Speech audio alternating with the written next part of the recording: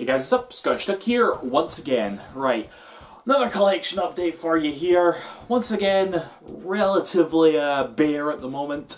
Uh, I've, I'm on another one of those like um, months where it's like, ugh, I kind of uh, made a few too many impulse buys and was like, better better cam it a wee bit, you know what I mean? Um, especially because probably not too long ago, we're nearly at the end of summer now, okay? We're gonna get right into like the holiday season of like non-stop games pretty soon, you know. Last year's was kind of lackluster to me, you know. There wasn't much I picked up then, but this year it's like there's a lot that I'll be uh, picking up. A lot of uh, a lot of expensive collector's editions as well. It's not to be fun, but anyway, here we go. We got these games right here. oh, excuse me. Okay, now first of all, actually, I gotta say, I was going to make a video on this, but I have been playing the shit out of my Sega Saturn recently. Like, I don't know what it is, I just like felt like playing it one night and I've played through so many games that I haven't got hadn't got around to playing yet, you know? And as a result, I decided to pick up a few more, a few more as well. Uh, the first one I got here is this, Virtual-On. Now, um, well, Virtual-On Cyber Troops apparently. Um, this was one I'd heard about for like years, you know, um, and I didn't actually know what the game was, and I just saw it on eBay, and I'm like, huh, you know what, let's uh, let's try that out. I literally did not know what it was until I popped it in, where I found out that it's actually like a fighting game uh, with um, sort of mechs, mechs and stuff, you know. And I was somewhat disappointed because I, I, don't know. I think I was sort of expecting a Zone of the Enders game, you know, something like single player. But no, it's a it's a fighting game at its core. You know, apparently you can buy like a sort of twin stick peripheral, and that's the real way to play it. That's how you played it in the arcades. But I don't have that, so I just got this here. Don't regret getting it or anything, because like I said, apparently it is a Saturn classic. So yeah, cool, cool, cool, cool. And another Saturn game I got, uh, this is the only other one, was um, Saturn Bomberman, wonderfully named. I hear a lot about this one as well. Um, one to ten players and shit. Uh, apparently this was a very uh, popular game, uh, multiplayer game I guess I should say, back in the day for the uh, Sega Saturn. Was it, um, was this the one that actually utilised the online? Um, can't remember, there was a game that did that, I don't know if it was this one, but yeah, I got this anyway. I'm going to have to pick up that because I know that there exists like a Saturn multi-tap in the shape of Bomberman's face, you know. I know that that's a thing, so it would probably be quite nice to sort of track that down and uh, own that, you know. I've yet to actually put this one in, but heck, it's Bomberman, you know. I like Bomberman, so I'm sure I'll like that. And uh, speaking of Bomberman, I promised there wasn't like a Bomberman phase that sort of went in my mind. Um, I just happened to see this and I thought, well, I'll pick this up too. Uh, for reasons other than just owning it, actually. Um, Bomberman, what's the subtitle? Bomberman Online. Okay, maybe this is the one that I got. I got mixed up with that and this because obviously this has online for the Dreamcast. Now, I saw this and it was quite cheap and I thought it was be cool to have, but even more than that actually, as you can see, this is an American copy, okay? And I kind of thought to myself, you know what? I gotta try and make that Dreamcast region free, because there's so many Dreamcast games actually that I have never played because they weren't released there here, you know? And I hate that, I hate that so much, I want to try and fix that. I haven't looked into how to make a Dreamcast region free yet, anybody has any tips on that, by the way, please let me know. I'm very interested to hear it because I made my I made my Saturn region free. You just need one of those like action replay cartridges. You plug it in and it's boom. You're played region free. Uh, your Saturn is region free, but I don't know how to do it for the Dreamcast yet. So I bought this as sort of a means of testing that. But you know, Bomberman online again. I like Bomberman. I should pick up. I should try and look for those uh, Bomberman games on the N64 actually. Um, other than Bomberman Hero. Bomberman Hero was amazing, I loved that game, but apparently like there's other ones um, that I should uh, probably have a wee look into. Okay, uh, next up we have uh, Carmageddon for the PS1. Now, uh, funny story, right? Uh, this game recently got like uh, re-released on PS4 and Xbox One, you know, a full remake.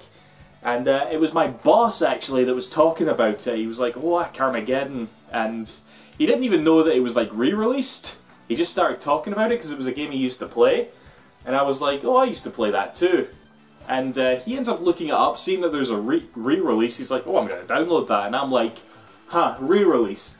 For some reason in my mind it was like, I should try and track down the PS1 version quickly before it goes up in price. I don't know why I thought that. I have like this knee-jerk reaction when it comes to when someone talks about an old game that I don't have, my first instinct is to go on eBay and see how cheap it is. And this was really cheap, so instantly I was like, oh, it's cheap, buy! And I, and I bought it, so yeah. But I used to play this when I was younger. Got memories of uh, mowing down lots of the, uh, the zombies and stuff. Um, but I'm not overly familiar with it, so just out of curiosity, does this get compared to like Twisted Metal a lot? I know next to nothing about Twisted Metal uh, as well. That's a that's a series of games I should get round to, but I imagine it's sort of the same thing. You know, not a car game, but not really a racing game. Sort. it's all about the the violence and the destruction and shit. So, was this a rip-off of Twisted Metal? I don't know. But anyway, Carmageddon. Cool, cool. Um, next we have um, Sega Classics Arcade Collection. This is my sixth Sega CD game. I'm getting there. Uh, no, it's funny, I, I kind of bought this in like uh, from a shop, and then I sort of walked out the shop and immediately thought, why did I buy that? Because the games that are included on this are Golden Axe, Columns, Streets of Rage, Revenge of Shinobi, and Super Monaco GP. I already own four of those for the fucking Mega Drive. I don't own Super Monaco GP, but I don't think I'm going to be that fussed about playing it. So yeah, I was like, why did I fucking buy this? I'm hoping that they're actually arcade perfect ports. That would make it all the worthwhile, you know, even though I don't think that the ports of the original games were that different from that on the Mega Drive. I don't know, don't quote me on that, but eh, I've got it now, I suppose, so yeah. More Sega CD games. Can't go wrong with that, I suppose. Uh, next we have now, this is one that um, actually I hold near and dear to my heart and I'm surprised that I have not went that long without um, buying this. Uh, that is a Dark Cloud for the PS2. This was like... Technically, this was the first PS2 game I ever played. Um, a friend of mine had it when the PS2 first came out. This was like fucking years ago. And uh, yeah, I just remember playing it and just loving it. You know, mainly because it was like the first PS2 game I saw, I suppose. I distinctly remember playing it. And to move the main character around, you had to use the left analog stick. And my brain hadn't evolved from that yet. I was still too used to PS1 and trying to use the D-pad constantly and move. But you weren't allowed to use the D-pad. You had to adapt to the analog stick. The analog stick was the future. And yeah, so that's a, that's a fun memory I have of this.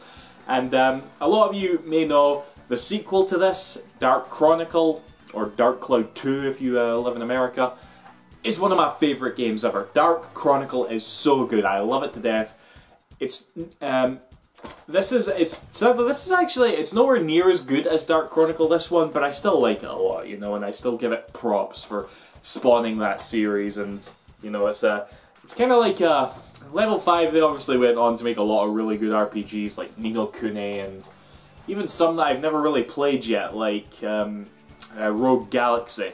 And some that I'd rather I'd never played, like White Knight Chronicles. We don't talk about White Knight Chronicles. Um, but yeah, Dark Cloud, great stuff. Love this game, really do.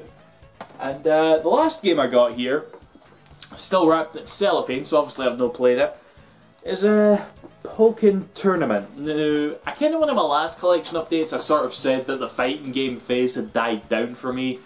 Um, so you're probably wondering, why the fuck did you buy this then, Duck? Well, I actually bought it because I'm very conscious of the fact that the Wii U is on its way out and there's pretty much no going to be any other new big releases for it. At least I really can't see it, you know.